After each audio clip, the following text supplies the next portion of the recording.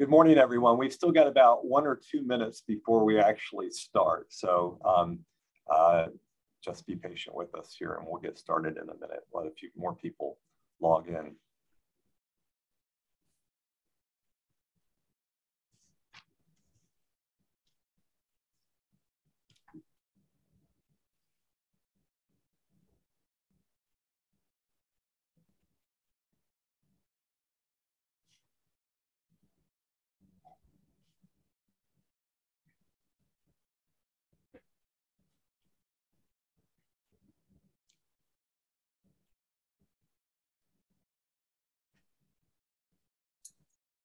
Is that an official 50th anniversary PDB mug you have, Chuck? You know, I was just thinking how incorrect it is that the president of the Protein Society is drinking out of his Biophysical Society mug. Oh. no, we're, we're friends. The, yeah, to, my joke is it's, it's the peptide of the Protein Society that are always, you know, competing for supremacy. Yeah, yeah, no, that's right. We're kind of like the little sister of uh, the Biophysical Society. A lot of mutual affection. So. Well, I think it's 11, so I think we'll go ahead and get started. So, um, so uh, good morning, everyone, or good afternoon, depending where you're at. Um, I'm Chuck Sanders. I'm the president of the Protein Society, and I'd like to welcome you to uh, the Protein Society webinar, COVID-19, a science-based approach. And this is actually the second edition of this webinar.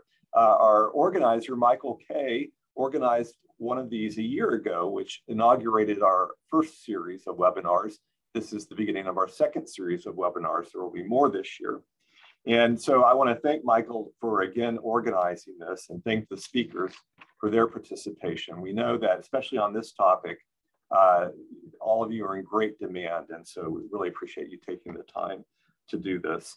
Uh, before we start, I'd like to just update everybody on a couple Protein Society uh, news items. Um, so uh, first, re regarding our journal Protein Science, um, after a, a, very long and influential and important uh, service, Brian Matthews is in the process of stepping down as the editor of the journal.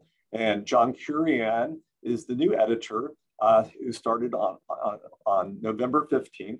And everything is going very well. And we hope that you'll uh, continue to support uh, Protein Science, the journal. Um, I also want to point out, uh, just remind everyone that the 36th Annual Protein Society uh, Annual Symposium is next summer, July 7th through 10th in San Francisco.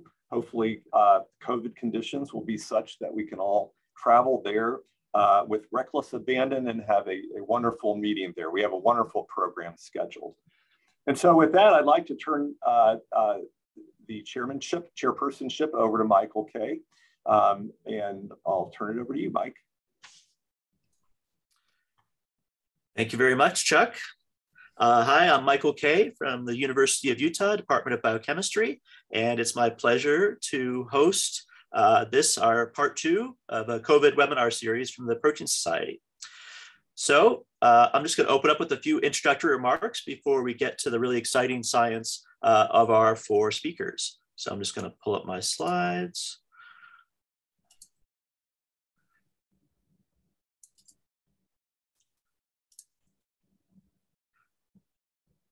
All right. Is that clear for people? Is the panelists give me a thumbs up? Yep. Great. So uh, again, welcome. Um, and so uh, I just want to start off with this uh, beautiful overview figure uh, that came from Ann Liu from uh, Janet Iwasa's lab, who runs the animation lab at the University of Utah. And just to give a plug for this wonderful uh, lab and website, uh, which is shown here, uh, which has a beautiful animation of the SARS-CoV-2 uh, full life cycle. So I really encourage you to check that out uh, if you haven't seen some of Dr. Awasa's uh, amazing animations, like of the full HIV life cycle and other complex structure-based complex processes. So do check that out. And so I thought this just served as a really nice title slide. So diving in, uh, as Chuck mentioned, we were here uh, a little more than a year ago uh, in June uh, last year uh, for the first of the Protein Society webinars. And at that time, uh, this is what the COVID picture looked like. um, it was looking not so great, but things had really leveled off with all the lockdowns and various measures that were put in place. And the theme there was really trying to contain uh, things long enough for an effective vaccine to become available, which of course did happen uh, about six months uh, afterwards. At this point, uh, there were more than 6 million cases worldwide and almost 400,000 deaths. And uh, unfortunately, we, I think, would not have predicted back then uh, that we would be still uh, talking about COVID and that it was uh, actually significantly worse uh, a year and a half later. Uh, these are some recent stats from the New York Times webpage. And you can see it's been a roller coaster ride of various waves of different seasons. And unfortunately, we're in another wave right now with increasing incidence worldwide. And now the death toll has exceeded 5 million people worldwide with over 267 million uh, cases. So uh, this has really been an enduring pandemic and the end is not uh, readily in sight uh, as we may have hoped uh, back in our previous uh, webinar. But of course, there's hope and there's been tremendous progress. And just picking one slide, this is a worldwide vaccination data slide from uh, our world in data. Uh, and uh, this is really a, a pretty staggering achievement uh, that uh, less than a year uh, after the first wave of vaccines were approved, that more than half of the world population has now received at least one vaccine dose, and nearly half has been fully vaccinated. And so I think this is something that is really an incredible achievement in terms of speed and impact, uh, but it also emphasizes the half of the world that doesn't have access to the vaccine yet, and the many challenges that have arisen with uh, distribution, with vaccine hesitancy, and uh, you know unequal access around the world that are remaining challenges going forward. Uh, but it is really a staggering achievement uh, that uh, basically a year after uh, identifying um, a vaccine that uh, it already is reaching you know half of the world. And then for us as researchers, I was really impressed by this graphic, which I think nicely summarizes the magnitude and the response of the research community. Uh, this came from uh, the Lancet Planetary Health. Um, this is a plot of preprints that have been on the main preprint servers like bioRxiv and medRxiv, um, and how they uh, have grown from when the uh, a particular pandemic or you know new outbreak was reported. And you can see uh, this uh, orange curve here is SARS-CoV-2, the incredibly fast and incredibly intense response. This is a log scale. Um, and so the research community has responded uh, extremely fast, extremely vigorously. It's really unprecedented compared to even other recent serious infectious outbreaks. And so uh, this has been incredibly exciting with all the new information that's coming available, but also extremely challenging uh, for the community to process all of this data and to understand what it means for going forward. So uh, this is a figure that I showed uh, during the last webinar, but it's been updated that just helps to put the COVID pandemic in context of major worldwide pandemics. So COVID is down here. Uh, and you can see uh, over the uh, centuries, uh, some of the other major pandemics, uh, that COVID is really um, unprecedented in modern times, uh, except for HIV AIDS, which is shown here, and then going back a little further, the Spanish flu. But you can see that given especially how much the world population has grown, that this really is, uh, you know, not as bad as some of these other ones have been in the past, and that uh, you know things could really be a lot worse than they are with COVID-19. And so it's really critically important for us to absorb the lessons of this pandemic so that we're prepared for a future uh, more lethal uh, spread, um, such that we don't have a repeat of some of these historic uh, pandemics and their devastating effects on death in the population. So just to briefly summarize a few lessons that I think that have already become very apparent uh, looking at COVID uh, in terms of the research community. Uh, I think, uh, first of all, it's really obvious to all of us and now becoming more obvious to the public that there's been an incredible payoff of investments in basic research. If you just look at the impact of things like uh, cryo-EM and the investment in cryo-EM facilities, uh, next generation sequencing, mRNA vaccine technology. These are all things that weren't invented for COVID, uh, of course, uh, but were uh, you know supported for many years before that, and were able to spring into action uh, when COVID arose, allowing us to have an unprecedented response. And so I think this is really a great example of, of these investments paying off and something that we want to you know emphasize to the public. The need for worldwide cooperation has, of course, been uh, huge in COVID, uh, both in terms of surveillance and also in terms of disseminating information, uh, manufacturing capabilities. Uh, key breakthroughs have come from all over the world. This has definitely not been a US dominated uh, response. Uh, the value of rapid dissemination, I think, has really become apparent. This is now the age of the preprint server. And as I was showing before, the ability to share data in almost real time and not wait several months for peer review has been incredibly valuable. Um, but of course, it brings challenges of how do we process all that information? How do we evaluate it? Um, and how do we deal with information that seems promising at first, but then gets uh, attenuated by further analysis? I think it's really been critical, the need for multiple approaches. Uh, this has definitely not been a winner take all um, pandemic in terms of uh, various interventions. I think we all now really appreciate the value of vaccines and different types of vaccines that each have different benefits in terms of cost or distribution and storage, effectiveness um, also therapeutics. Um, there's not just a need for a single therapeutic. Again, uh, the need for multiple approaches because it's so difficult to know which ones will have impact. And having a portfolio of options is incredibly important, especially like for right now, where an Omicron is arising. Uh, you know, having different approaches that will have different sensitivities to resistance and different possibilities of being applied. And so that whole portfolio approach is really critically important.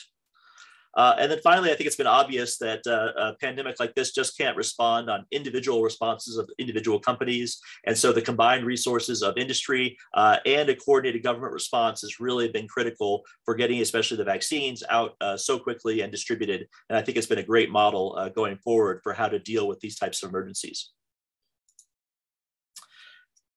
So uh, some other uh, things that I think are really worth talking about. Uh, this has been a rare opportunity to actually watch how research is done in real time. And the public is really engaged with it in a way that just hasn't been true before. So if you will, we are making the sausage uh, of uh, COVID research, and the public is getting a chance to watch. Uh, and so Jerry here is watching uh, the, the research happening. And I think this creates some uh, really great opportunities for us to explain a lot about how the research enterprise works, how do we work as a community, and to uh, make sure the public understands why this is worthy of their support. Um, and so I think it's been a great opportunity to explain, you know, why research takes as long as it does and why it costs what it does. Um, how that even in an emergency, uh, the field has a, a, commitment to safety and rigor that cannot be thrown aside. And so, for instance, explaining why a clinical trial is happening faster than usual, uh, it's really critical to explain that it's a matter of conserving resources where normally things are done stepwise, but when you have an emergency, you can basically basically waste some resources potentially on things that may not work, but not uh, wasting uh, or not uh, losing the commitment to safety and rigor uh, in the results. And I think this is really critical for building confidence, especially when things move fast. There's a lot of early model studies, especially in preprints, that get a lot of publicity, and these often give misleading results. Uh, this has been especially true with small molecule uh, candidates, things like uh, chloroquine or ivermectin.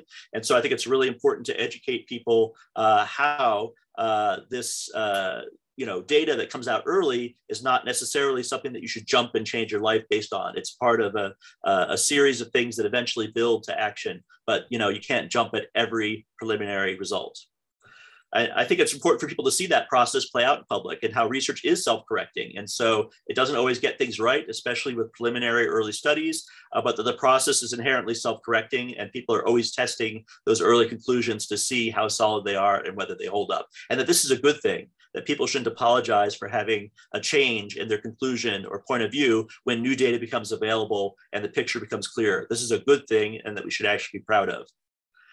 And of course, uh, physicians do this all the time, but as a community and in public health, we have to really get comfortable making important decisions with incomplete data and then revising those decisions as new data becomes available. And again, being as transparent as possible about that process to again build confidence uh, in the process rather than to uh, you know pretend that uh, there's just perfect decisions and that they cannot be changed.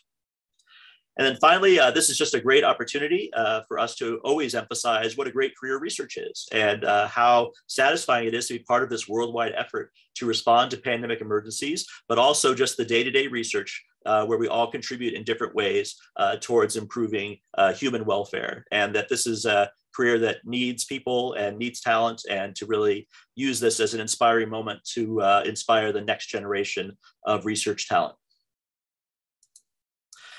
So with that, uh, that's just my, my preamble. Um, I would love to get to the science. We have four wonderful speakers here who are talking about very diverse aspects uh, of uh, COVID research. And so I'd like to get right to it.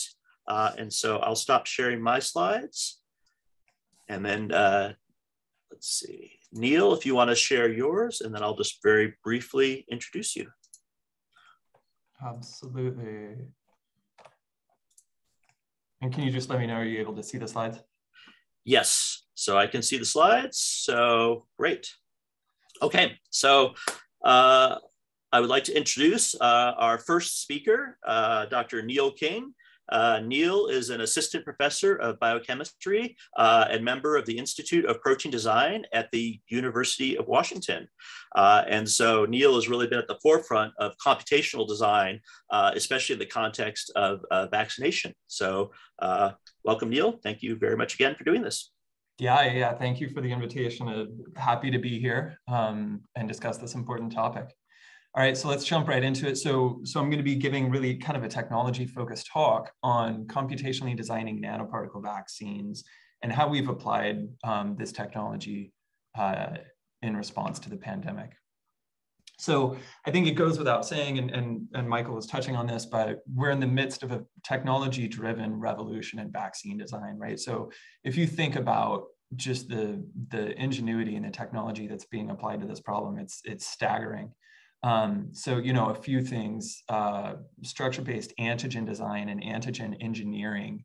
And kind of the poster child for this before the pandemic was prefusion uh, RSVF. Um, of course, similar techniques uh, have been applied to stabilize uh, the spike protein that, that's in many of the currently used vaccines. Obviously, novel vaccine delivery technologies like mRNA vaccines, which have been a long time coming, a uh, huge amount of, of basic research went into that. And as Michael mentioned, that uh, became very valuable um, in response to the pandemic. And then kind of a, a perhaps even more cutting edge example, this concept of germline targeting where you engineer antigens to interact with specific naive B cells in, in vaccinated subjects and shepherd the immune response towards an antibody that can provide broad protection. And the amount of technology that's gone into this approach is, is incredible. So one other technology that's contributing to next generation vaccine design is the design of self-assembling or particulate immunogens. And it's been known forever from studies of, of naturally occurring pathogens that particulate immunogens enhance the immune response in several different ways. So one mechanism by which the, the immune system detects uh, danger detects pathogens is through repetition of antigenic determinants. So B cell receptors on the surface of B cells are clustered in response to three-dimensional repetition of, of antigen. That drives stronger signaling in the B cell and leads to a more potent humoral response, a better antibody response. But it's not only B cell receptor clustering, the interactions of particulate immunogens with the innate immune system, as well as their trafficking and localization in vivo, um, all contributes to this enhanced response. And again, is tapping into the evolution of the immune system against pathogens that are themselves little particles. So today I'm going to be talking about self-assembling protein vaccines. And of course, this is a clinically validated vaccine modality. The HPV and HBV vaccines are both self-assembling proteins. Um, these are virus-like particles so they naturally self-assemble as, as part of the virus. Um, and these are some of the safest and most effective subunit vaccines, purified protein vaccines that we have. However, if your antigen that you're interested in, interested in doesn't naturally self-assemble like a VLP, what you need is a scaffold a self-assembling scaffold to which that, you can use to display your antigen. So this is beautiful work out of the, the NIH's Vaccine Research Center a few years ago, showing that non-viral structural proteins like ferritin can be used as scaffolds to display complex antigens, oligomeric, glycosylated, disulfide bonded proteins, for example. And one of the reasons you might want to use proteins as a, as a scaffold is because there's is several fold, but one of the reasons is you can seamlessly integrate the antigen into your display platform through genetic fusion, All of this is genetically encoded, so these could potentially be delivered via an mRNA or an, uh, uh, a viral vector. And because these are proteins, if you do it right, they should fold and assemble to a single native state. So every particle looks just like every other. And you can see that in these electron micrographs. So in this work, they were displaying influenza hemagglutinin and showed that the nanoparticle vaccines elicited much stronger antibody responses than the uh, inactivated commercial vaccines at the time. So this is that increased potency that you get from multivalent display. So that work stimulated a huge number of studies using non-viral structural proteins as scaffolds. This is only a small sampling of that work. Clearly, this approach is successful. However, the vast majority of studies in this area have used one of these three scaffolds, ferritin, encapsulin, or lumazine synthase. So while this can be successful, these scaffolds can also fail, and they're also fixed in their structural properties. Ferritin is ferritin, and it's always going to be ferritin. You can't do anything to fundamentally change its structural properties. So one of the things that we do and one of our guiding principles at the Institute for Protein Design is that we want to create protein-based technologies that are simple, robust, and controllable. And this cartoon kind of, you know, it's a silly depiction of if you wanted to, to make a new technology, let's say an alarm clock, and you limited yourself to only using things that already existed around your house, you might come up with this ridiculous non-robust contraption. But this is not how humans invent technologies we design and build pieces to make the thing that we need. And when you do this, you end up with technologies that are simple, robust, and controllable. So can we do this with proteins?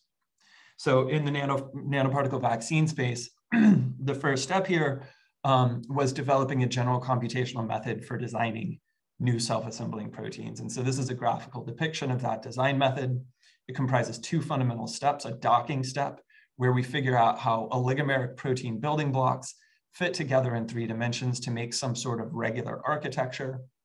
And then we do amino acid sequence design, in this case, protein-protein interface design, to come up with a new amino acid sequence that should be low in energy, and if it is, should drive assembly specifically to the target structure. So at the end of the day, what you get out of, out of the software um, is a hypothesis in two parts, a pair of amino acid sequences and a three-dimensional structure you predict those sequences will form. So we take those hypotheses into the lab and test them. And this is a series of eight nanoparticles that, that Jacob Bale, a very talented graduate student I worked with in the Baker Lab, designed a few years ago. These are icosahedral nanoparticles, 120 subunits. So they're about the size of the smallest viruses, like an AAV. And you can see from the micrographs, again, that every particle looks just like every other. They're very regular and monodisperse. When you average the particles, you get images that closely resemble projections calculated from what we made up in the computer. So these things were designed to form uh, a specific structure, and they do in fact form that structure. And when we solve crystal structures of these, we tend to find that they have been designed with atomic level accuracy. So in both of these cases, the root mean square deviation over all 120 subunits in the assembly is 0.6 angstroms, so about half the width of an oxygen atom. And the implication of this, of course, is that it enables the design of new nanomaterials with customized structures. So if you want a, a nanoparticle that's more porous, you might go for the architecture on the left. If you want one that's less porous, you might go for the architecture on the right. And so now this ability gives us the opportunity to test specific structural features and generate systematic series of immunogens that we can use to interrogate the immune response and figure out what the ideal vaccine looks like. So my group has been doing a lot of work in, in this space over the last few years with a huge number of collaborators worldwide. And we've really convinced ourselves that these two component nanoparticles that are assembled from two different designed proteins are really a robust and versatile platform for multivalent display. And so this is just a, uh, an incomplete list of the, the variety of antigens that, that we've put on these sorts of scaffolds. So today I wanna, I wanna focus on SARS-CoV-2 obviously, but also bring in a little bit of data from work we've done in influenza. Um, and these are two slightly different stories that, that dovetail in the end on how we're using, designing and using these nanoparticle vaccines. Um, all of this work was in collaboration with David Wiesler's group here at UW, as well as Masaru Kaneki and Barney Graham at the, the VRC.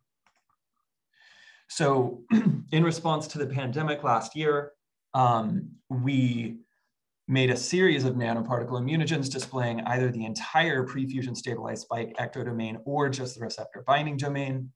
We actually got the best data from the particles displaying just the receptor binding domain. So that's what we moved forward.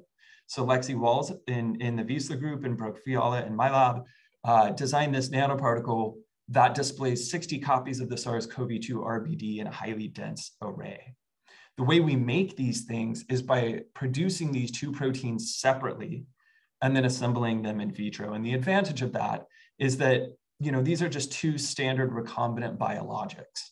You control the assembly process in vitro, and that is, is really advantageous during manufacturing and has greatly simplified the manufacture of this particle at scale.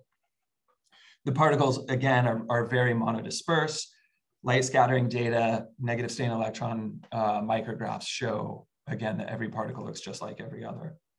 These particles are also really quite stable. Um, so we found, and Priyam Vada's group also found early on in the pandemic, that the, the original prefusion stabilized spike showed a, a, a marked destabilization at, at refrigeration temperatures.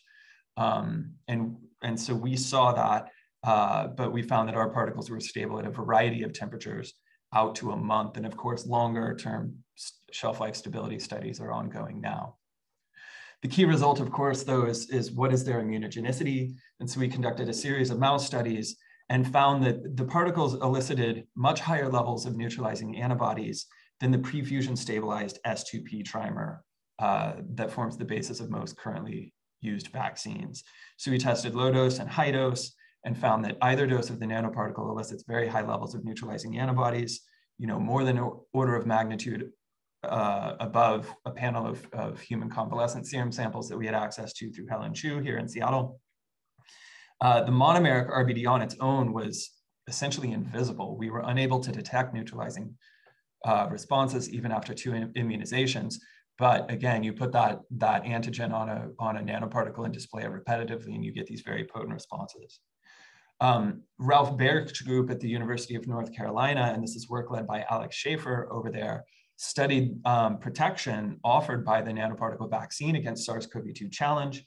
And we found that viral replication was completely prevented in the lungs uh, and nasal turbinates, whereas we saw breakthrough with the low dose of the spike trimer. So, you know, one potential concern about an RBD-based vaccine is you might, you're not presenting all of the epitopes in the spike that might lead to protection. But we did want to ask, are we eliciting antibodies that target more than one site? So Lexi set up a competition BLI assay to, to answer this. And we found that the vaccine does elicit potent antibody responses against multiple distinct non-overlapping epitopes that are targeted by neutralizing antibodies. And we think this will help minimize the chance of viral escape. So, you know, the strength of the early preclinical data uh, led to a non-human primate study conducted by Prabhu Arunachalam and Bali Palindran's group uh, with a large number of collaborators that basically confirmed what we saw in mice. You get these very potent neutralizing responses uh, from the nanoparticle vaccine with a range of clinically relevant adjuvants. And so this work and, and others um, push the vaccine into clinical trials. It's currently in, in phase one, two, and phase three clinical trials uh, with two different groups, SK Bioscience um, and our spin-out company, Icosavax. And this is some data from, from SK's combined phase one, two trial, confirming what we saw in the preclinical models that the nanoparticle vaccine elicits much more potent antibody responses than the, in this case, the NIBC panel of, of standard uh, human convalescent sera. So, so far, the vaccine appears to be safe and potent in humans. And so, you know, as Michael mentioned earlier, the mRNA vaccines are, are miraculous and, and wonderful, in the speed with which they responded to the pandemic uh, was really necessary for, and, and for saving lives.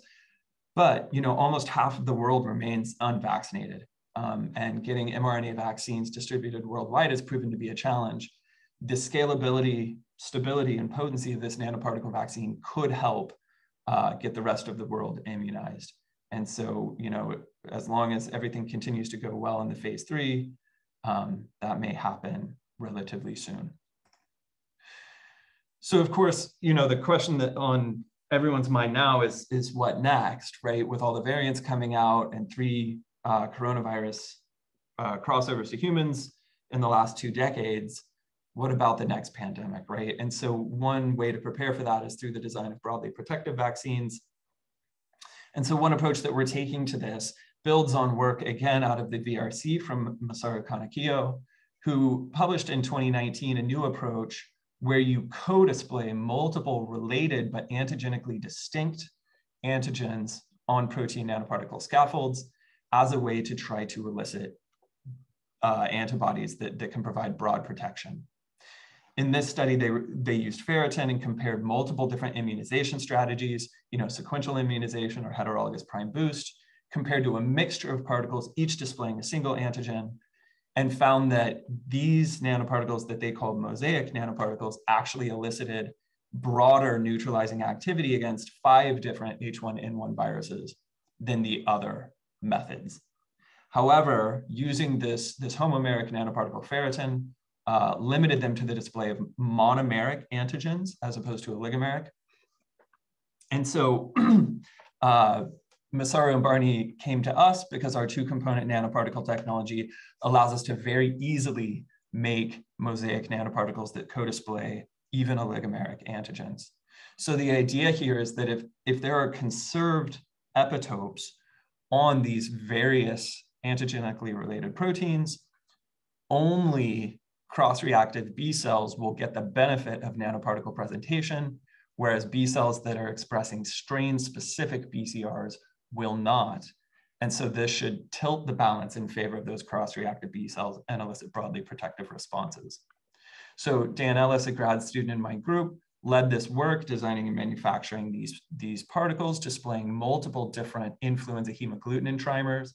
These are the four strains that are found in current seasonal vaccines characterization of particles showed that they came out as designed. And what we found was that the mosaic nanoparticles, as well as the corresponding cocktail particles, separately displaying each A, both significantly improved protection against heterosubtypic challenge. So these are distant cousins on the flu family tree, things like H5N1, H7N9, compared to commercial vaccines. But the mosaics seem to have a subtle yet consistent edge over the cocktail in these challenge studies. We showed using polyclonal epitope mapping um, by EM that these heterosubtypic responses derive from antibodies that are targeting the conserved stem epitope in influenza hemagglutinin. And so that was consistent with the mosaic hypothesis and the way that we thought this might be working. And so, of course, now we're building on that work in the coronavirus space and going back and designing mosaic nanoparticles for sarbecoviruses and beta coronaviruses to try and elicit similar protective breadth. So in a preliminary study that, that we recently published in collaboration with the Barrick Lab, we showed that a mosaic, two mosaic nanoparticles, one of which contains all four of these RBDs, and one of which lacks the SARS-CoV RBD, both provide strong protection from SARS-CoV challenge in mice. So even when the SARS-CoV RBD is not in the vaccine, you get very good protection from challenge. So this is encouraging, um, but we're conducting second generation studies on, on newer designs to really see what the limits of that protective breadth are. So I won't walk you through the summary, but hopefully um, I've convinced you that computational design can be useful um, in the vaccine space. And just one thing I'd like to highlight is this is only the beginning we've only scratched the surface of, of what we can do using computational design. And new methods and approaches are going to continue to open up new technology platforms uh, that, that could be useful in a number of different ways. So I wanted to highlight the people that did the work. Um, again, highly collaborative with a number of different groups. And of course, our funders. And, and thank you for your attention. Happy to take any questions if we still have time. Thank you, Neil. Wonderful work.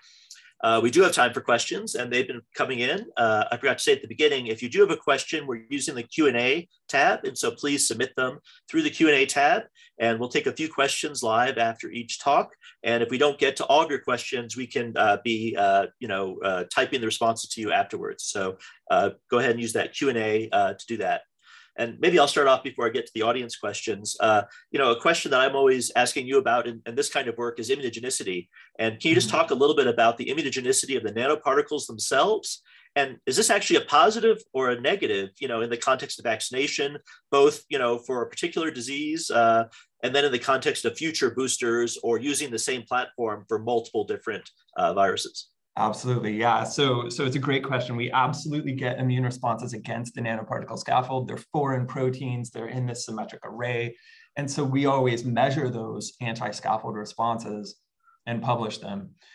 Do they matter?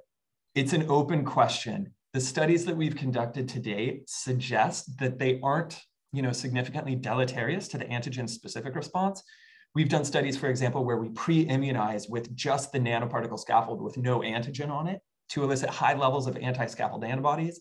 And then we come in and boost those animals with the antigen displaying nanoparticles. And we see no difference in the, the antigen specific response compared to animals that didn't receive the pre-immunization. So in that study, right, we haven't seen any deleterious effect. It's important to remember, you know, these things are not viral vector vaccines in viral vector vaccines, you can get vector neutralizing antibodies that completely tank the vaccine. That's not the case here. The protein is the vaccine. So we're doing a lot of additional work. We're about to submit a manuscript on the interplay uh, between anti-scaffold and antigen-specific responses, but more work needs to be done. Great, thank you. So I'll, read a couple of the audience questions. Um, one question uh, I think has to do with you know clearance of these particles. Um, how do how does nanoparticle interact with other proteins in the body? Does it disassemble in the end? Yeah, so we do know that it, at some point these are broken down. So we have measured T cell responses against the nanoparticle subunits, and you get CD4 T cell responses against them exactly as you would expect. So these things are endocytosed processed and presented on class two. So the particles end up being broken down. They're entirely protein, of course. So we haven't measured this, but my assumption is, you know, in the end, they're broken down to amino acids and then your body makes new proteins out of them. There was another question uh, that I think you basically just answered about, uh, do the nanoparticles induce comparable T cell responses to the mRNA vaccines? So we so these things, even though they're nanoparticles, they're still you know subunit vaccines. They're purified protein, and so we do get CD4 T cell responses, um, but we do not get significant CD8 T cell responses. And that's again is exactly as you would expect from a subunit vaccine. And I guess there's a couple of questions that basically relate to just you know comparing and contrasting the mRNA vaccines, you know, which have been pretty effective. Um, and just really getting at what is it about the nanoparticle vaccine that uh, is an improvement over those mRNA vaccines? What's the, the, you know, if you could summarize kind of what that difference is? Yeah, I think, you know, every platform has advantages and disadvantages. So I think, you know, the major advantage to mRNA is speed. I mean, you just cannot compare to the speed of mRNA. It's incredible.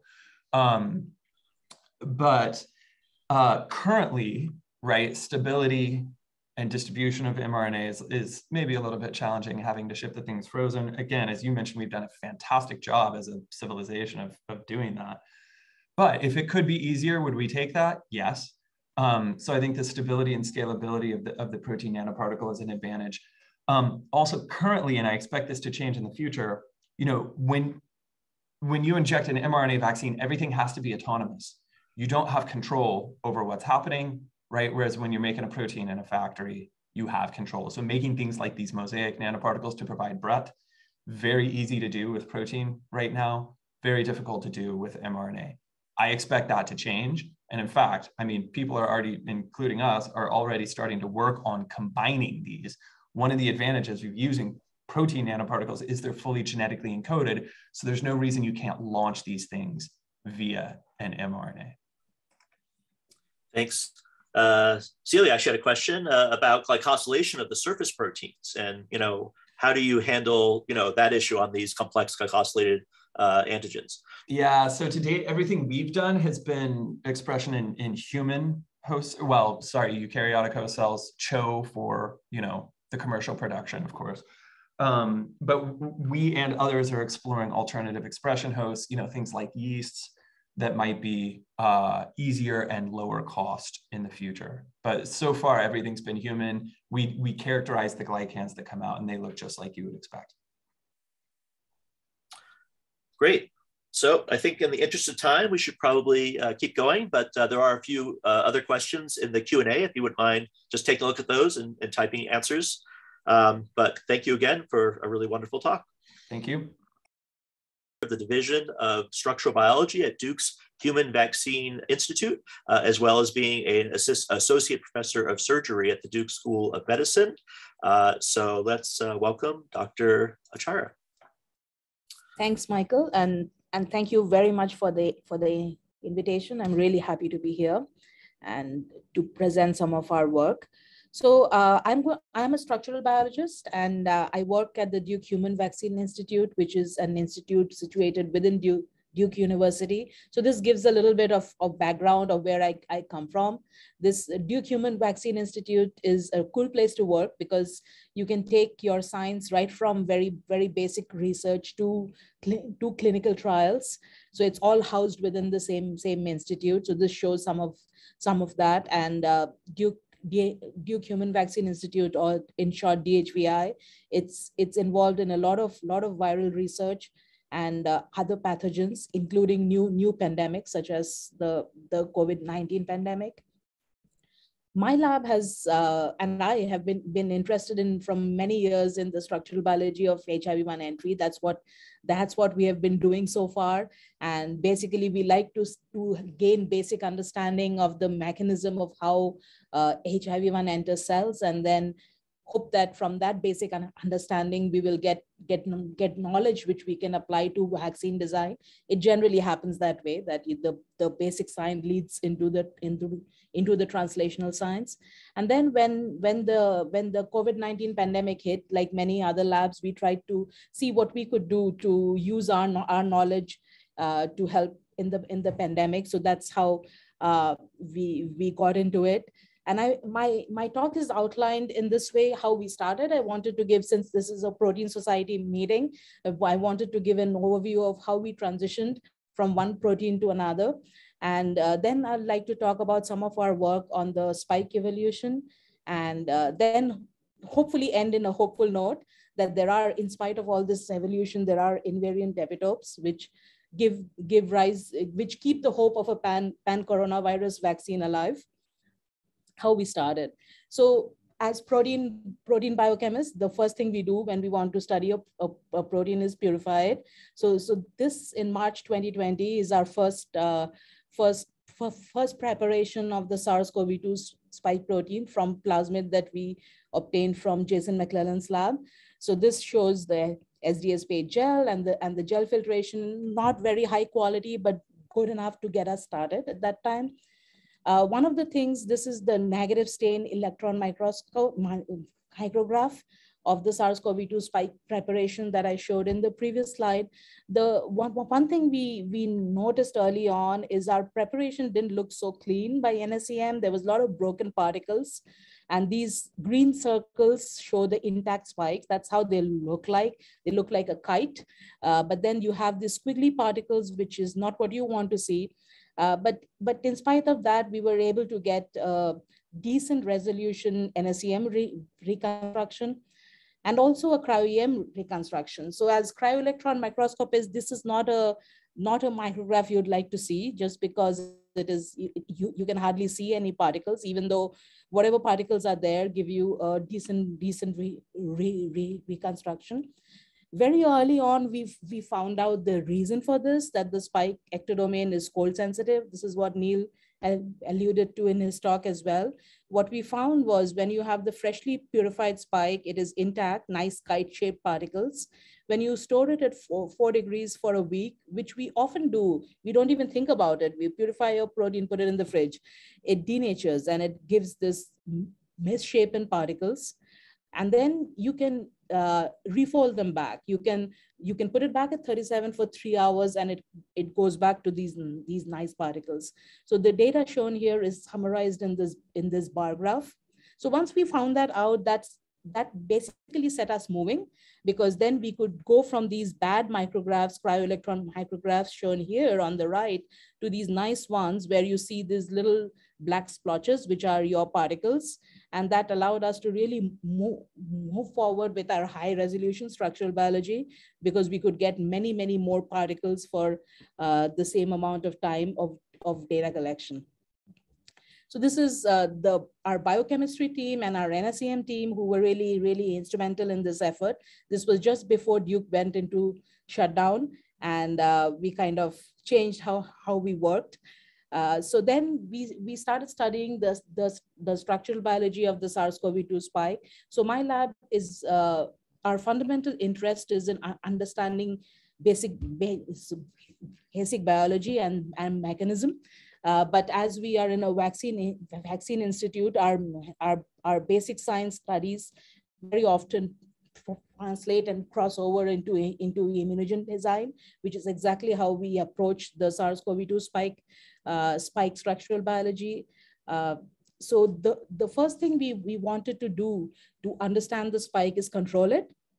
And so if you can understand a molecule well enough and to, to control it the way you want, that means you kind of really understand the, the, the molecule. So what we did with the, with the spike is we designed mutations that would either lock the spike down into an all down conformation where all the RBDs would be down like here, or it would uh, bring the spike up into an up conformation where you, you would have, have had, the, had more up forms. And we were able to achieve that to, through, two, through two sets of, of, of mutations, one which was known as RS2D, which brought all the, all the RBDs down and they stayed down, whereas another one which uh, gave more up, up conformations. So this is, is, is published in NSMB.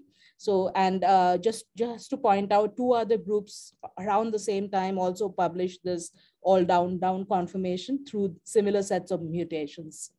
So this work was done in, in collaboration with Rory, Rory Henderson at Duke, Duke University. So one of fun, uh, one of the things we did in this, this study is we were we were starting out to understand a new protein. So how do you understand a new new new protein quickly enough so that your work is relevant? So what he what what Rory did, he, he's a he's a computational biologist.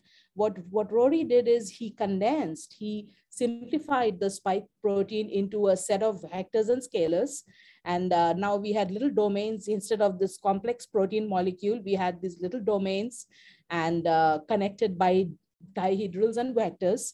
And we understood how they moved. And from there, uh, we understood how we could control them. And then from there, around that time, when we were finishing off that, that work, we the spike started evolving. This is an, an image I took off Twitter. Uh, so what it what this shows is uh, the ancestral virus very, very early on, it, it, it mutated to what we know as the D614G mutation. And from there it took off. And now there are five variants of, of concern, um, including the Omicron, which just, just started appearing. Uh, so we started started looking at by then we had optimized our methods for looking at the structures of the spike so we we started um, looking at variations in the spike that were evolving so Omicron, of course, is, uh, is a big concern just because it has many, many, many mutations and especially in uh, antibody uh, epitopes. Uh, but it all started with the D614G gene mutation. So this mutation took over uh, almost, uh, it, it took over the, the, the world. Now it has replaced the original Wuhan strain and it was first first pointed out in this in this paper by by Betty Corber and David David Montefiore. So Sophie Cobell, a, a postdoctoral fellow in my lab, she started looking at the at the mutations, uh, the D614G, and this is is published in Cell Reports, and this figure summarizes what we found in the paper that the D614G mutation leads to more RBD up conformation which probably makes it easier for the, for the virus to transmit. And we also found that it leads to more furin cleavage. So these were the, were, the, were the findings of the paper. And other people have also found this, that the D614G G mutation leads to more, more up conformation. So from then on, uh, we started looking at other variations because they kept coming. Um, and this is a paper published in Science with, with Sophie Gobel again as the lead author, where we, we, we looked at a spike which was from a virus which was involved in transmission from humans to minks. And then this is the alpha variant and, and the beta, beta variant. So in all, in all of these, I, I pointed out, uh, like in, in the alpha variant, you have a P681H mutation, which is really near the furin cleavage site. So there is a continued interest in uh, the furin cleavage site due to the, the mutations accumulating around it. So in all of our work, we closely coupled our structural studies with, with binding data.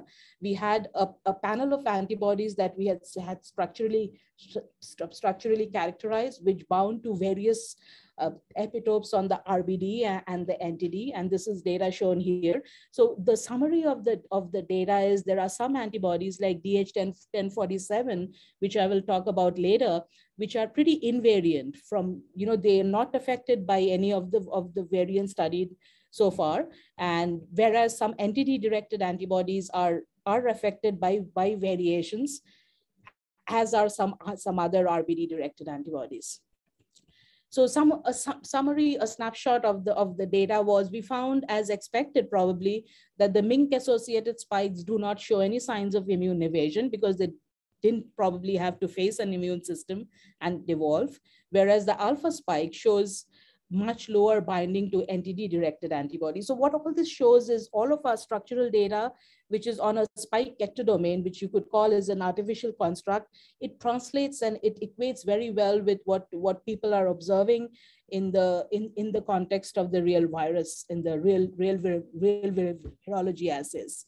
So then we started understanding how, what are the differences? What, how is the spike evolving and what, what, is, what is going on at, at the atomic level? So for example, for the MYNC spike, we found that the, the MYNC spike shows signs of instability. So by, by comparison with, uh, by carefully, carefully parsing out the heterogeneity in the structure, we found that the MYNC spike was re really unstable to the extent that it lost almost one of its protomers. And we hypothesized from that observation that uh, that probably is why the MYNC spike did not take off. Uh, and through atomic levels structural determination, we could pinpoint which residues, which of the of the mutations were responsible for every every phenotype. For example, in the MYNC spike, we implicated the I692 to valine mutation as the reason for its instability. In the alpha spike, where it was, it had to face an immune system where we found that the spike had pretty cleverly evolved to balance stabilizing and destabilizing mutations. An example is shown here. Uh, we have a loss of a hydrogen bond here uh, in, in, the alpha variant compared to the D614G variant. Uh, but really right close to it, you have a, a, a, sta a, sta a, sta a stabilizing interaction. So we feel that the alpha and the, the variants that are emerging, they are striking a balance between making the spike more readily transmissible or making the virus more readily transmissible and keeping the spike structure intact. And this is yet another example. This is also part of the science paper, so I will not go into the details. What this shows is when the, the alpha variant lost a bond in, in order to be more open or more in the, in the upstate, so it could bind more ACE2 receptor, it gained an, an interaction around the same area so it wouldn't cause the spike to fall apart. So we learned a lot from seeing how the spike evolves and how to, to incorporate these ideas into our designs. So I will switch gear a little bit and talk about now that we had this nice uh, uh, tools, our structural biology tools are well, well developed. We, st we started uh, uh, collaborating with our with our colleagues in the DHVI because they they were isolating antibodies from, from convalescent individuals. And we started studying these antibodies. So that formed the epitope mapping bin in our in our thinking. And we solved this the, the, the structures of some of these antibodies. And you have seen that earlier. This also helped our ba our basic science. So this paper is is published in cell. So then i'm going to switch to the invariant epitopes. What is the good news from all of this uh, so I'll, uh, I'll, I'll start with an with an antibody called DH1047. So it binds the RBD. It is this uh, purple pink antibody shown here, and it uh, so we we are moving really fast. So we this is a three and a half angstrom cryo-EM structure, and some some of you may know because the RBD moves so much, it's really hard to get high resolution details there. But the details in our structure were enough to trace the main chain pretty accurately. Uh, and we could quickly complement it with other assays, for example, binding assays through, through alanine scanning mutagenesis. So we could uh, validate all of our all of our structural contacts. Uh, so that so that way we made use of the uh, of the of the structural data complemented with other data to move forward at a at a rapid pace. So the, the good thing about DH1047 is it neutralizes all the variants known so far. Uh, and we don't yet have, have, have data on Omicron, but we should have it soon. Uh, and it uh, it binds to an epitope which is very very conserved in sarbecoviruses. That's why it neutralizes. In collaboration with our, our, our colleagues at UNC, uh, we saw that it it is uh, pretty uh, pretty uh, effective uh, prophylactic and, and therapeutic agent. Uh, so this is the is the epitope. It binds so.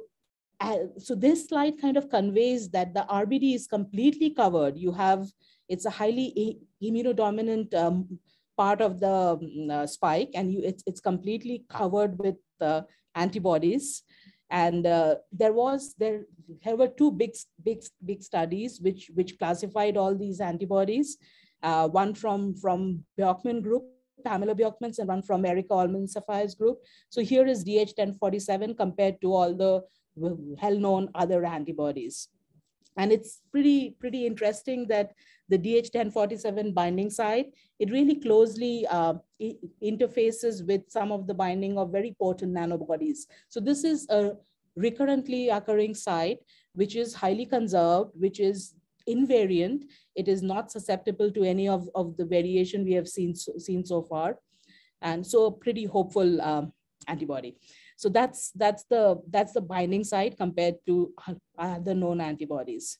Then there is another antibody which is different, which is different because its its binding footprint comes really close to the sites of variation. So I'm seeing I'm showing three of the of the variations here.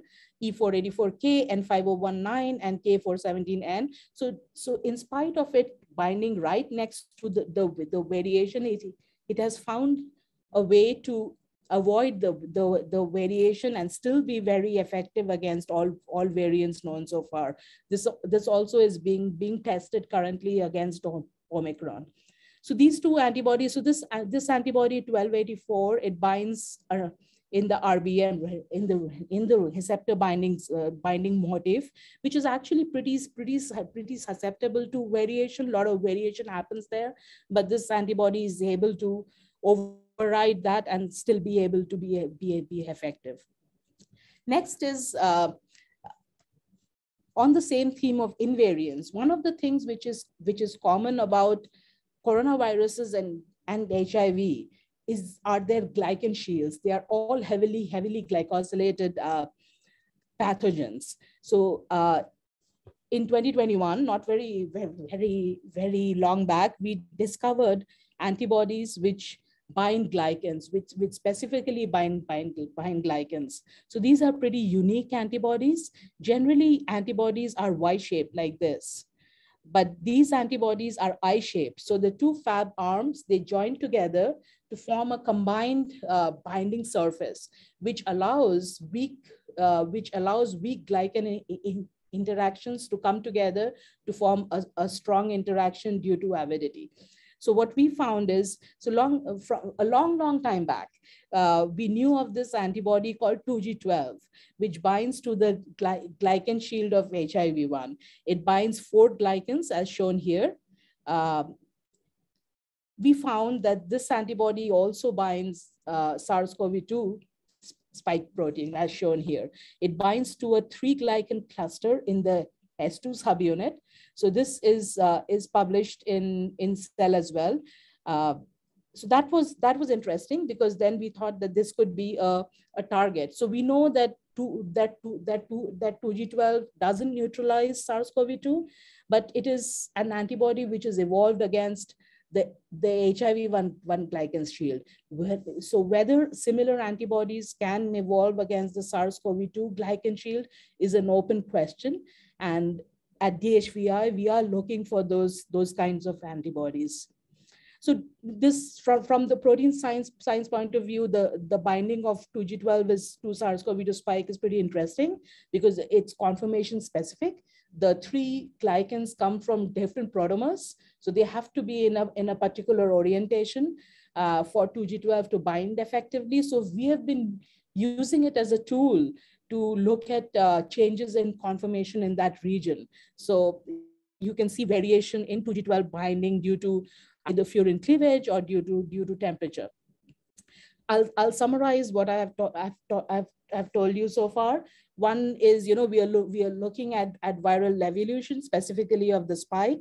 And then I have also told you about sites that are invariant uh, antibodies that, that bind irrespective of, of the variation in the spike known so far. Uh, I, I talked about two RBD directed antibodies. And then I talked about the glycan epitope, which is still under investigation as, as to its utility in, in protection. Another study I haven't, haven't talked about here is a fusion peptide epitope. So S2 subunit epitopes are of really high interest uh, because they are not so not not neutralizing epitopes, but they may have other protective functions. One of them is the fusion peptide, high, highly conserved. So here I'm showing an, an, an antibody called DH1058, which binds, this is a crystal structure, which binds the, fu binds the fusion peptide, probably in an alternate conformation of the spike. So these are all the epitopes which are not, not affected by spike variation so far. So with that, I wanted to thank my lab and it's evolving as well uh, since the pre-pandemic and the pandemic days and our collaborators and funders and i'm happy to take any questions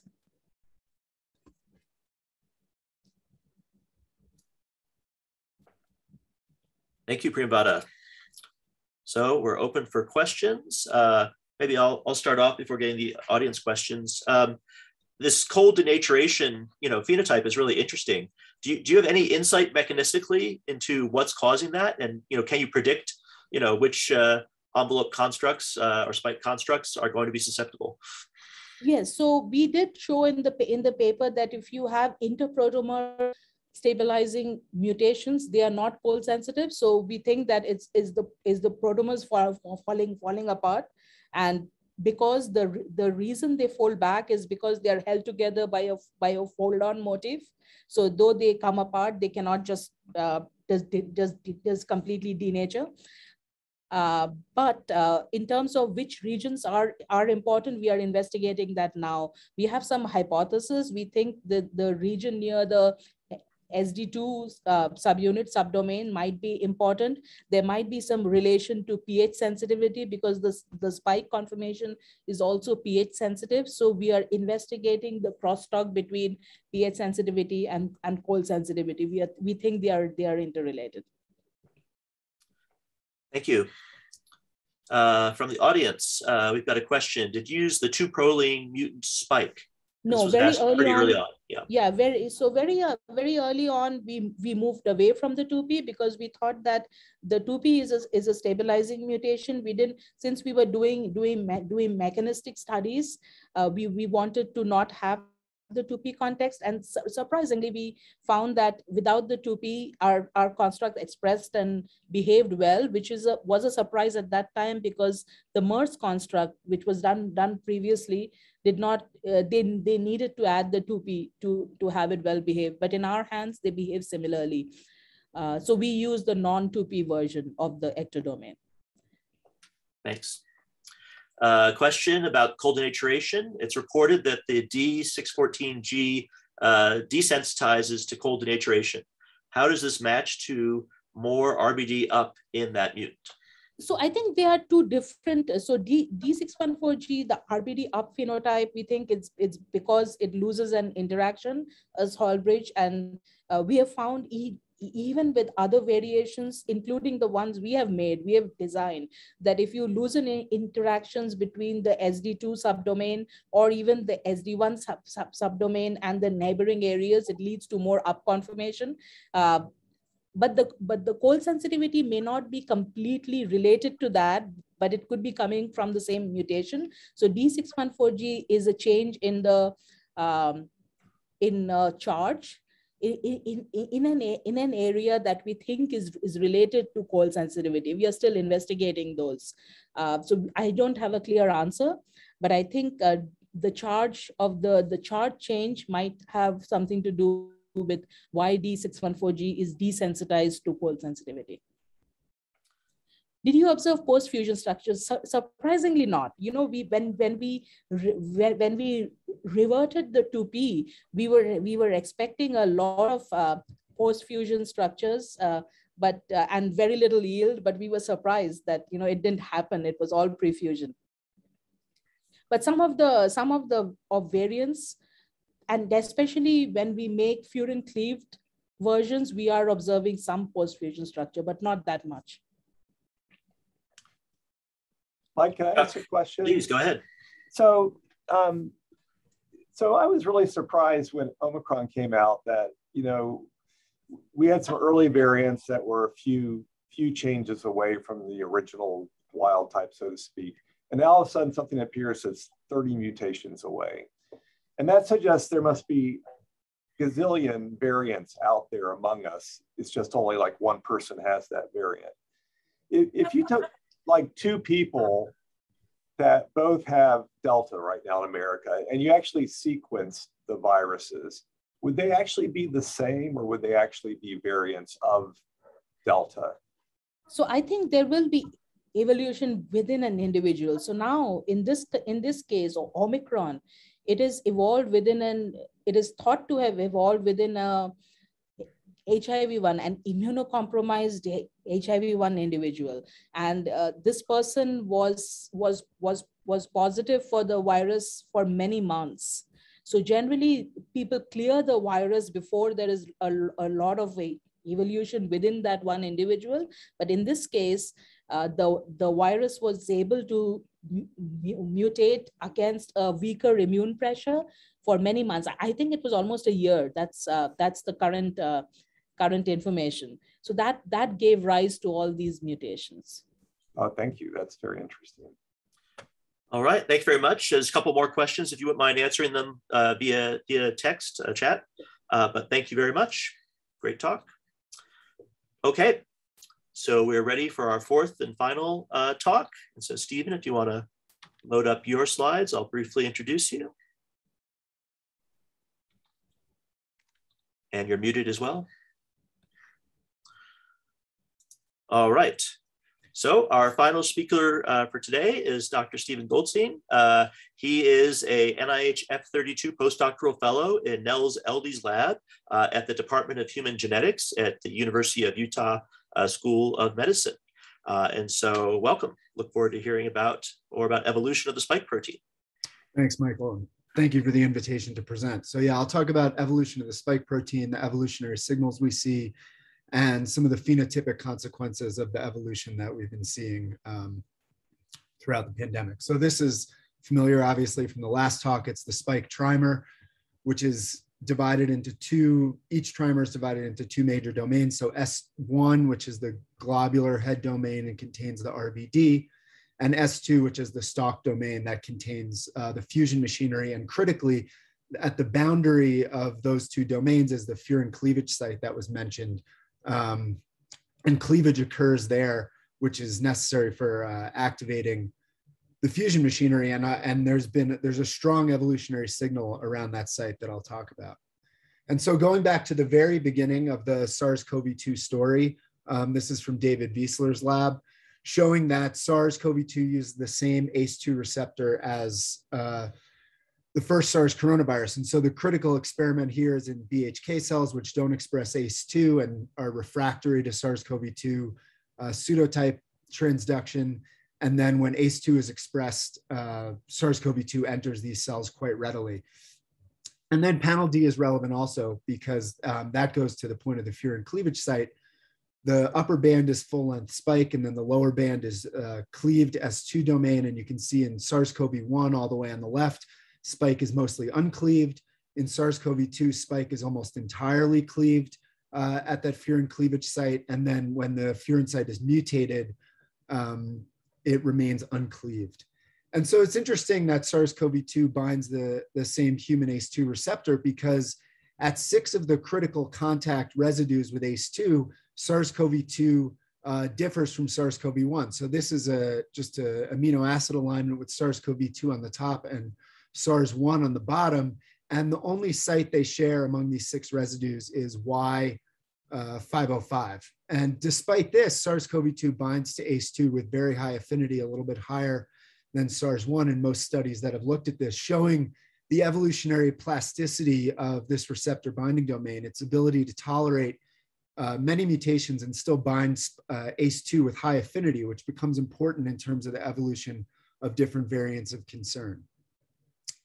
And so one of the first evolutionary studies that was done came from Jesse Bloom's lab, where they did deep mutational scanning of the spike uh, using a yeast display system, mutating every possible residue and residue in the spike receptor binding domain uh, to every other possible amino acid at that site, and then looking at how that affects uh, affinity of ACE2. And so the first thing that jumps out is there's a lot of red, and those are mutations that are deleterious to ACE2 affinity. And then white are mutations that have minimal impact. And then in blue are the mutations that increase affinity. So there are a few of those. And this is complicated because epistatic interactions, as we're discovering, can affect the behavior of individual mutations as well.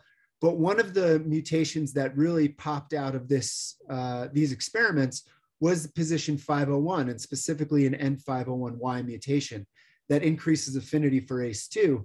And that's a particularly interesting mutation because it subsequently um, became clear that this site was a major signal of convergent evolution among variants of concern. So I'll, I'll start most of the talk looking at, say, alpha through delta, and then I'll turn to Omicron um, later in the talk.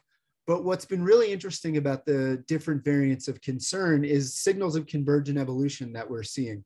So three major sites where we've seen this occur. So one is the N-terminal domain of the spike, where um, we've seen deletions, uh, similar deletions in multiple of the variants of concern, and that's a major antigenic site. The other, another is the receptor binding domain, where th the first three major variants of concern to appear, alpha, beta, and gamma, all had that N501Y mutation that was pre essentially predicted by the deep mutational scanning approach from the Bloom lab.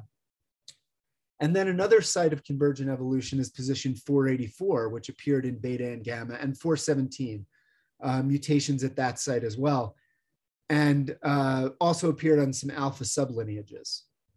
The third major site of convergent evolution that we're seeing is adjacent to the furin site. So the last talk mentioned the P681H mutation in alpha that's believed to improve furin cleavage. And Delta has a very similar mutation, P681R, also making this site more basic, uh, which improves furin cleavage. And uh, both of these are associated with the increased transmissibility of alpha and then delta uh, as well.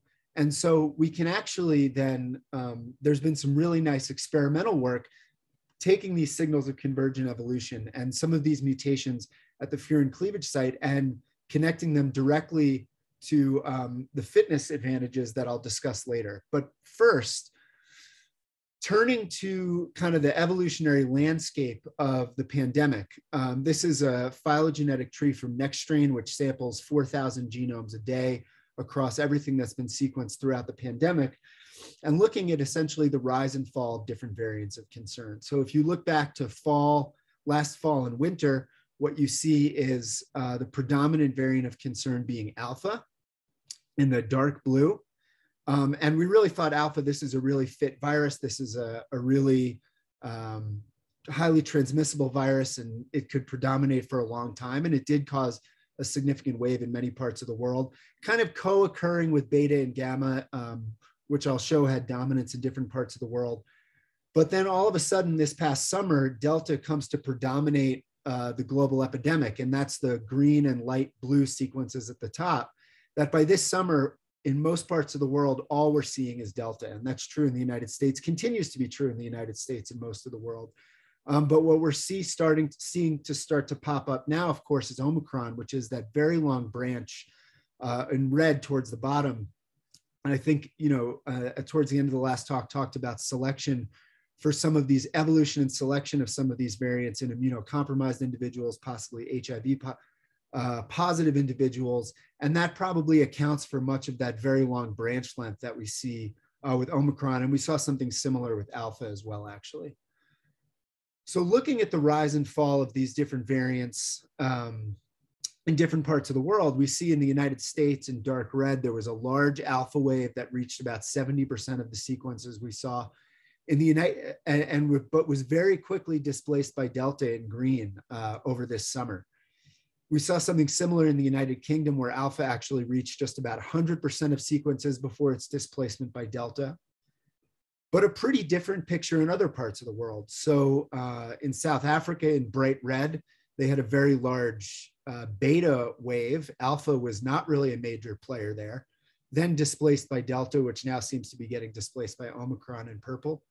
In contrast, in South America, the example I'll use here is Brazil in pink a very large gamma wave before being displaced by delta uh, also this summer. And what drives the rise and fall of these variants essentially is uh, changes in the R naught or the intrinsic transmissibility, or at least that's been the case so far. And so what we see here is the change relative to ancestral Wuhan strain, where alpha, beta, and gamma all had um, modest transmissibility advantages. This data is a little noisy. If you asked me, I'd actually say that alpha was more transmissible than beta and gamma. But what really sticks out here is the huge leap um, that Delta made over prior variants of concern with an R naught at least twice as high as the ancestral uh, Wuhan strain and uh, considerably higher than prior variants of concern. So when you see this data um, estimated from multiple epidemiological studies, it becomes very clear why, uh, at an epi level, why Delta displaced the prior variants of concern. Uh, lost. But we can also look at a molecular level. And so doing direct competition studies in the lab and actually honing in on specific mutations, specific evolutionary changes that underlie these fitness advantages that different variants have. So this comes from UTMB. And this is doing direct competition studies, inoculating hamsters on the left intranasally at a one-to-one ratio with Delta and Alpha virus. And then sequencing uh, nasal washes of those hamsters at days one through five and seeing if one of the variants comes to predominate over the other. And that's exactly what they saw with Delta um, by day one already has almost a two to one advantage over Alpha, increasing to threefold um, by the end of the experiment. and then mapping that directly to that P681R mutation. So when they make a Delta virus where the R is reverted back to a P at 681 adjacent to that furin site, the competitive advantage over Alpha is uh, completely gone. Um, and in fact, alpha outcompetes delta. Notably, alpha still has a furin site mutation there, delta doesn't. So while the RBD mutations are probably important both for transmissibility and certainly, as I'll show, for immune escape, these furin site mutations are actually a huge contributor to the increases in transmissibility of the variants of concern and something that we actually probably understand a bit less than the impact of uh, RBD mutations. And so I'll turn to Omicron now and why we're concerned. Um, this is data from South Africa, from the South African government, and looking at the course of the epidemic there. They had a early uh, winter spring wave, like much of the world, not typified by any particular variant of concern. Then a large beta wave, uh, a large delta wave, which had subsided uh, late this fall, and then a very sudden rise associated with the appearance of Omicron, uh, exceeding the magnitude of their previous waves uh, in South Africa. And so, what's going on with Omicron? So, this is um, mapping different mutations onto the spike structure from beta, delta, and then Omicron. And so, the RBD is at the top, and beta was really defined by these three mutations at 417, 484, and 501, but no furin site mutation. Uh, Delta, in contrast, only has two RBD mutations at positions 478 and 452, which are only associated with a modest amount of immune escape, but has that, uh, and no major changes in affinity for ACE2, but has the furin site mutation at uh, position 681 that's clearly associated with a large fitness advantage. Omicron is a totally different beast. It has over 30 spike mutations, 15 in the RBD, uh, position 501, also 484, uh, also 417 and 478. So many of the mutations that we saw in prior variants of concern. It has that furin site mutation of P681H and uh, a host of other RBD mutations um, that are particularly important, position 446, as we'll see being one of them. And so, unfortunately, what that means is that Omicron has mutations in all three major RBD epitopes. So, there are basically three classes of antibodies that target the receptor binding domain. And major escape sites for binding of those are positions 417, 484, and 446. And Omicron has mutations, uh, has mutations at all three of those sites in addition to many others. And so this is data that comes from a, an RBD, a mutation escape calculator that was just produced by the Bloom Lab, a really useful guide for looking at how uh, individual or sets of mutations affect antibody binding. And so this is based on a pool of 33 characterized monoclonal antibodies. And when you mutate sites 417, 446, and 484, so you can see at the bottom, you're predicted to escape from 70% uh, of the antibodies in that pool, kind of simulating a polyclonal response. And that's not the whole picture with Omicron. When you mutate the full set of RBD mutations in Omicron, now you're projected to escape from 80% of those antibodies, uh, raising concerns immediately, even before we had uh, neutralization data that I will show now that it's kind of flooding in, um, that Omicron would uh, show significant escape from antibody binding. And how does that compare with predictions from other variants of concern? So I mentioned alpha and delta, pretty modest amounts of antibody escape. Their uh, increased transmissibility throughout the population largely linked to an inherent increase in transmissibility rather than the ability to escape either uh, infection from um, immunity from prior infection or immunization.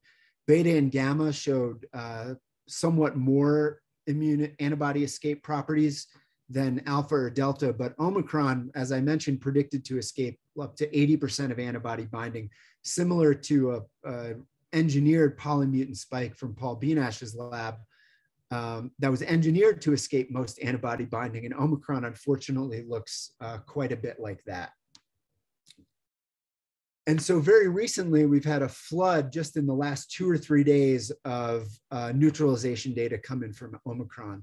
So, the first was from Alex Siegel's group in South Africa that looked at um, double vaccinees, uh, double vaccinees with the Pfizer vaccine in orange, and then people who had been infected and then vaccinated in green, and saw a 40 fold drop in neutralization of Omicron compared to the D614G variant that was mentioned in the last talk. Almost a complete loss of neutralization, frankly, in people who are double vaccinated. Fortunately, um, people who had been infected prior to the vaccination, although they still experienced the similar magnitude drop, did retain neutralization activity against Omicron. And this was done with live virus. Pfizer then released some of its own data using pseudovirus uh, and saw similarly from double vaccinees, essentially a complete loss of neutralization against Omicron, uh, substantially restored, however, by a third dose of the vaccine. And so uh, that's promising and also certainly argues for the urgency of getting boosters into people's arms with Omicron knocking on the doorstep. Another group in Frankfurt then released uh, similar data looking at uh, double vaccinees and then um, people who had been boosted. And they saw similarly double vaccinees, a complete loss of neutralization. With a third dose, uh, some restoration of uh, neutralization of Omicron, still a 20 to 40 fold drop, but some retention of neutralization. And then most recently, we had a really nice study come out of Innsbruck. This came out late yesterday, uh, looking at uh, neutralization from serum from people who had been vaccinated with several of the major vaccines, as well as uh, convalescent serum from people infected previously with alpha, beta, or delta. So this becomes really important because there are places in the world with low vaccination coverage but that experienced very significant waves from one or more of these variants, South Africa being one of them, having had a large beta and delta wave. So starting with the vaccine serum at the top, Spikevax is Moderna, uh, Chadox is the AstraZeneca vaccine, and then BNT 162b2 is Pfizer. And what we see is substantial, uh, in some cases, complete loss of neutralization against Omicron, which is all the way on the right, uh, from people who have been vaccinated with these, um, some retention with people who got the AstraZeneca and then uh, Pfizer or double Pfizer uh, doses of vaccines, but um, still in their range of the 20 to 40 fold loss of neutralization. And particularly alarming for um, parts of the world that have had low vaccine coverage but significant uh, prior infection is that infection with um, either alpha, beta, or delta uh, seem to provide a complete loss of neutralization uh, when Omicron is on the table. And that unfortunately is consistent with the epidemiological data from South Africa, where the vaccination rate is relatively low, but the convalescent rate from the prior waves is very high, perhaps 80% or more. Despite that, we're seeing that very rapid rise uh, in the Omicron case count and likely comes down to what we're seeing with the um, complete loss of neutralization from prior infection, from infection with prior variants. The upside is that people who had been infected, infected and then vaccinated or vaccinated and subsequently had a breakthrough infection retain substantial neutralization against Omicron. So the hope um, is that the large percentage of the population in some countries who fall into that population will retain um, some protection against Omicron. And also the hope that booster doses uh, may recapitulate some of that retained protection against Omicron that's evident in these so-called superimmune or hybrid immunity uh, individuals. And so for my acknowledgements, I just want to thank um, GISAID, the database where um, uh, all of these sequences that make all of this work possible for the entire world are deposited. And then scientists in Botswana and South Africa who were the first to alert, alert the world uh, both to the beta variant and now to the Omicron variant uh, in particular, which have enabled just in the last two weeks, multiple groups around the world to start producing data on what kind of protection we might expect with vaccines against this variant. And I'm happy to take uh, any questions. Thank you very much. Sure. Very interesting. Uh, maybe I'll start off the questioning. Um, so uh, I guess um, probably like many people, I was expecting Delta Plus to be the next, you know, variant of concern. And um, I'm just curious, uh, is there any sign of that happening, given, you know, how many experiments are happening in hundreds of millions of people, you know, with this dominant Delta strain? Yeah, so there's there's one sublineage of Delta called AY4, which some data from the UK suggested might have a small transmission advantage over the parental Delta strain. I also expected some kind of Delta plus to appear, um, but we haven't seen a Delta. We've seen Delta lineages pick up, say, a 484 mutation um, or a 501Y mutation, but they haven't seemed to take off. So there may be some epistatic reasons why those combinations don't work as well with um, the Delta spike as we might have expected, or just that uh, Omicron appeared before one of these delta plus lineages could really acquire the mutations on its own to take off. You know, there's still tons of delta circulation going on in the world, so we may still see some sublineage of delta pop up. that shows more substantial immune escape or another leap in transmissibility over the next couple months. You know, I'm also curious about, you know, the furin site cleavage as a mechanism for improving, you know, spread or fitness. Yeah. What's distinctive about that in humans versus, you know, animal reservoirs where these viruses, you know, originally came from? Um, you, you would just simplistically think that the furin cleavage might be something that would get optimized, you know, pretty early in evolution of the virus, and that wouldn't be different in different hosts. Uh, I guess can you comment about about that? Why is that an opportunity for evolution in humans that didn't happen, you know, earlier in animal hosts? Yeah. So one thing that's notable is the in the natural reservoir of these viruses, which are horseshoe bats, the infections are mostly enteric, and that um, switches in uh, humans, but also other animals like small carnivores. So mink, for example, raccoon dogs, civets to uh, more infection in the respiratory tract. And I think there's some evidence from other viruses, other coronaviruses, that infection, um, that respiratory infection, at least in beta coronaviruses, is associated with furin cleavage sites. So two of the, the two human common cold beta coronaviruses, OC43 and HKU1, both have really good furin cleavage sites. The SARS-CoV-2 furin cleavage site is suboptimal. And so that's probably why we're continuing to see uh, evolution of that site as further adaptation into humans and associated with increased transmissibility. Thanks. Uh, got an audience question uh, that I think a lot of people are probably thinking about. Is there a possibility that Omicron was engineered in the lab? I know this sounds like a sci-fi idea, but it has so many mutations appearing at once. Yeah, so you know, I think that that's very unlikely. Um,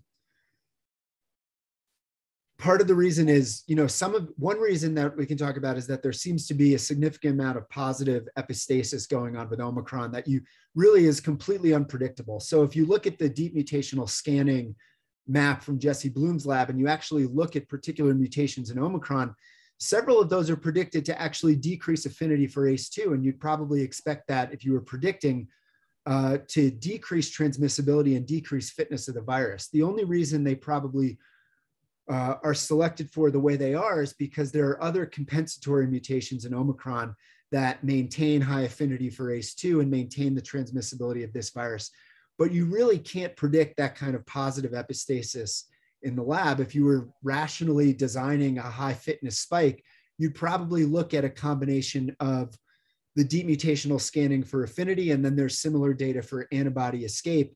So you'd probably pick like N501Y and maybe a couple other mutations, and then like three key immune escape mutations. You really wouldn't, I don't think there's any rational basis to choose mutations that decrease affinity for ACE2 in isolation and engineer that into a spike. So I think the possibility that this evolved in a, a chronically infected person, probably able to mount some kind of uh, antibody response, but not sufficient to clear the virus, maybe treated with monoclonal antibodies at some point, is a much stronger hypothesis for the origin of this variant.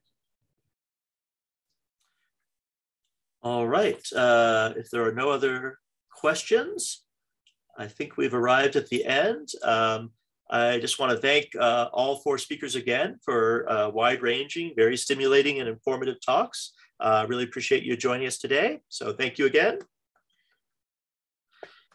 And uh, thank you everybody for, for attending. Um, I'll just mention again that uh, the Protein Society has been doing quite an impressive series of webinars uh, uh, since the pandemic started. And so you can actually look at many of these at the Protein Society website if you'd like to catch up on the other uh, topics as well. So I encourage you to, to check that out. Um, any party comments for us, Chuck? No, but th thanks so much. I know everyone's really busy. I just really appreciate you taking the time to give these talks today. So, and thank you for everyone for attending. Thank you. Thanks very much. Thanks. Bye. Bye, everybody. Thank you.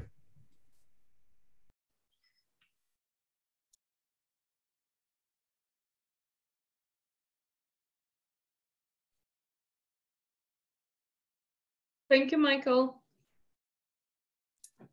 My pleasure. Yeah, it, was, thank you. it went very well. I think